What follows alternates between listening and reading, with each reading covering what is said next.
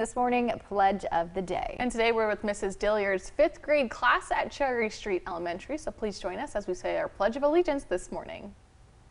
I pledge allegiance to the flag of the United States of America and to the republic for which it stands, one nation, under God, indivisible, with liberty and justice for all.